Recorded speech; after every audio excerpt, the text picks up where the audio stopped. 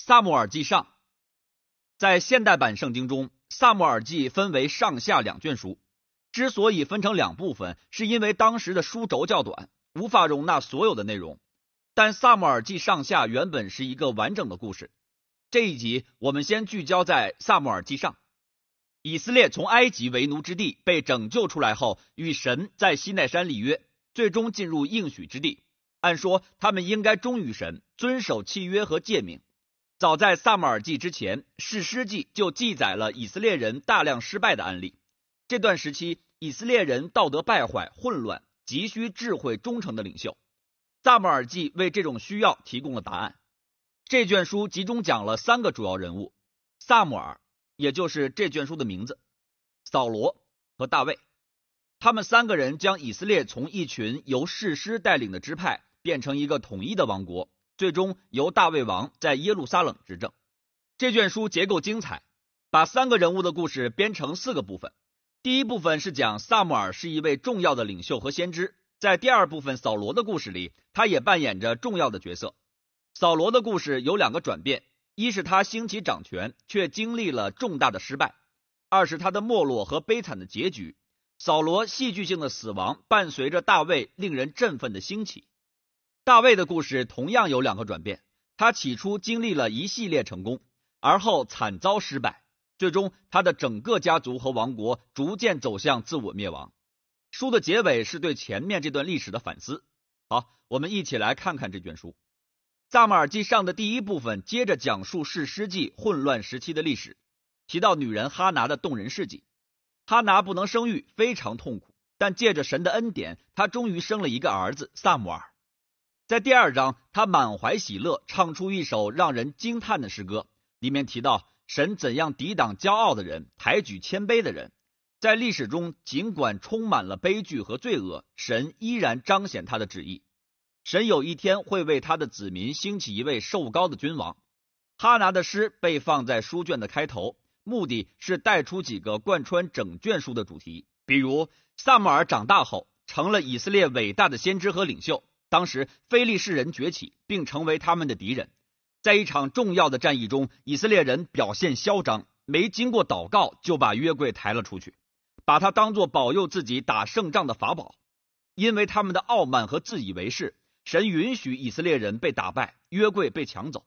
非利士人把约柜放进他们的神大滚的庙里，但以色列的神不费一兵一卒，用瘟疫击败了非利士人和他们的神大滚。于是，非利士人不想再保留约柜，就把他送回以色列。这里的关键点是，神不是以色列人的法宝，他抵挡非利士人，也同样抵挡以色列人的骄傲。所以，以色列人必须保持谦卑和顺服，才能经历神立约的赐福。这个故事开启了下一个部分，篇幅比较长。以色列人去见萨穆尔，说：“我们也想像别的国那样立一个王。”萨姆尔很生气，就去问神。神说：“他们的动机不对，但既然他们想要一个王，就依从他们吧。”于是扫罗出场了。扫罗是一个悲剧性人物，他身材高大，面容英俊，前程似锦，是做王的出色人选。但他有极大的人格缺陷，不诚实、不正直，又不肯认错，这些都成为他没落的原因。他打赢过几场战役，但他的缺点也根深蒂固。导致他公然违背神的命令，最终失去了做王的资格。上了年纪的萨穆尔去见扫罗和以色列人，告诫他们：只有对神谦卑和忠心的王才会给他们带来益处，否则他们的王只会带来毁灭。他提醒扫罗，神将兴起一位新的王取代他。此后，扫罗开始走向衰败。同时，神在幕后兴起了一位新的王，就是毫不出众的牧童大卫。他最不可能成为王的候选人，但在著名的大卫和歌利亚的故事中，可以看到神拣选大卫不是看重他的地位，而是因为他非常谦卑，毫无保留的信靠以色列的神。这件事体现了哈拿的诗歌主题：骄傲的扫罗和歌利亚被降卑，而谦卑的大卫被升高。从此，扫罗开始慢慢变得癫狂，而大卫却日渐强盛。大卫是扫罗手下的将领。百战百胜，声名远扬。扫罗非常嫉妒，开始追捕大卫，想杀死他。大卫没做错什么，却只能逃走，在旷野等候。这也显出他的品格。他本来有几次机会杀扫罗，都没下手。相反，他相信，尽管扫罗邪恶，神仍会为他的子民兴起一位王。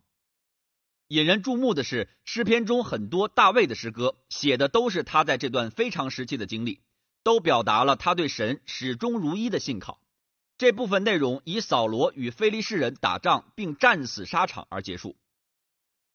萨马尔记上讲述了整本圣经中最错综复杂的故事，其中对扫罗和大卫的描写很真实。作者把他们凸显出来做人物研究，让读者从他们身上发现自己的影子。扫罗的故事提醒我们，一定要反思自己的人格缺陷，并找到这些缺陷怎样伤害了别人和自己。借着神的帮助，我们要谦卑下来，对付自己的阴暗面，避免扫罗的经历发生在我们的身上。大卫则提供了另一种榜样，就是如何在生活中忍耐并信靠神的时间。当大卫被扫罗追赶逃到旷野时，他完全有理由认为神已经抛弃了他，但他却不这么想。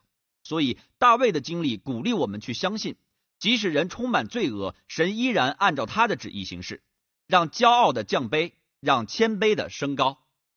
这就是萨姆尔记上的经义。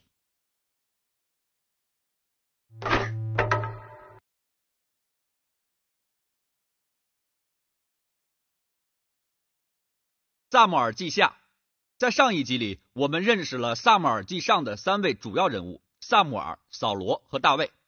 作者首先介绍了萨姆尔，接着讲述了扫罗王的兴起和堕落，与大卫的兴起形成反差。萨姆尔记下则重点讲述大卫做以色列王的事迹，分为两部分。前一个时期充满了成功和祝福，但随后就是一场巨大的道德堕落和悲惨的后果。这卷书最后设计了一个精心结尾。回顾了大卫一生的优点与缺陷，让人盼望那位从大卫后裔而出来的未来君王。萨马尔记下描述了扫罗死后大卫的反应，令人惊讶。他为这个企图谋害他的敌人写了一首长诗，表达哀悼。作者再一次显明了大卫的谦卑和怜悯，他甚至为敌人的死而哀伤。之后，大卫经历了一段成功且充满神赐福的时期。以色列众支派都来到大卫面前，请他统一领导，做他们的王。大卫做王之后，第一件事就是攻取耶路撒冷，将这座城设立为以色列的首都，并改名为西安。此后，大卫赢得了多场战役，大大扩张了以色列的领土，把耶路撒冷设为以色列的政治首都之后，大卫还想把它立为以色列的宗教首都。于是，他派人把约柜抬到城里。在第七章。大卫对神说：“现在以色列家有了永久的居所，他认为也应该为神建造永久的居所，就求问神，自己是否可以为他建造圣殿。但神对大卫说：‘谢谢你有这个想法，实际上我想为你建立一个家室，也就是一个王朝。’萨马尔记下第七章是理解整本圣经叙事脉络的关键。神在这里应许大卫说，从他的王室后裔中会兴起一位君王。”他将在地上建造神的殿，并会建立一个永恒的国度。这个对大卫的应许是关于弥赛亚的。此后，诗篇和先知书都提到并进一步发展了这个应许。这位君王与神对亚伯拉罕的应许相关，神会透过这位弥赛亚的国，将他的赐福带给万国。就在神赐福大卫王的时候，出现了重大问题。大卫犯了一个致命的错误，当然对他来说不算致命。但对一个叫乌利亚的军人来说，则是致命的。乌利亚是大卫军队中的勇士。大卫在自家屋顶闲逛，看到乌利亚的妻子拔示巴在沐浴。大卫让人把她接进宫，与她同房，结果导致她怀孕。之后，他设计使乌利亚被暗杀，然后娶了拔示巴，以此遮盖真相。整件事非常可怕。先知拿丹为此指责大卫，大卫立刻承认了自己所犯的罪，他痛心之极，悔恨不已。他祈求神宽恕他，神确实宽恕了他，但神没有涂抹大卫的错误选择所导致的后果，因为大卫当初的决定，他的家和他的国都四分五裂。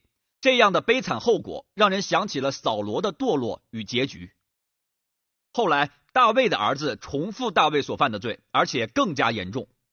暗嫩玷污了妹妹塔玛，塔玛的哥哥亚沙龙知道这件事后，设计谋杀了暗嫩。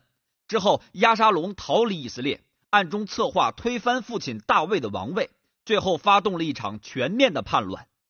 于是，大卫开始了第二次逃亡，他藏在旷野中，只不过这一次他并不是无辜的。随着他的儿子押沙龙被杀，叛乱最终结束。失去儿子令大卫伤心欲绝，他再次为企图害他的人哀悼。晚年时，大卫重登王位，但已经身心破损。他为自己犯罪导致的可悲后果大为伤心。这卷书在最后有一个精心设计的结尾，故事没有按时间顺序进行，却遵循着优美而对称的文学结构。首尾部分的两个故事都发生在大卫王统治的初期。两个故事比较了扫罗和大卫各自的失败之处，以及他们因为错误的决定对其他人的伤害。稍微靠近本书中间部分的两个故事，讲述了大卫和他的勇士们跟非利士人的征战，很有意思。两部分都讲到了大卫在征战中的软弱，与第一章至第九章中那个得胜的大卫不同。在这个部分，我们看到了一个脆弱的、需要依靠别人帮助的大卫。结尾部分有两首回忆录式的诗歌，大卫用诗歌来反思自己的一生。他回忆神多次用恩典救他脱离危险，他认为这是神在持守对他和对他家族的约定。两首诗的结尾处都表达了对神所应许的那位建立永恒国度的未来君王充满盼望。这几首诗和神的应许。与萨姆尔记上开篇哈拿的诗相呼应，因此从书卷开始到中间再到结尾，几处关键的段落将上下两卷书的主题统一了起来。尽管扫罗和大卫犯罪，神仍然朝着他救赎的目标不断的推进。神抵挡大卫和扫罗的骄傲，但当大卫谦卑自己时，神就高举他。这卷书对未来的盼望远远超过了大卫本人。他展望了未来，有一天，一位弥赛亚君王将把神的国度和赐福带给万国。这就是萨姆尔记的全部经义。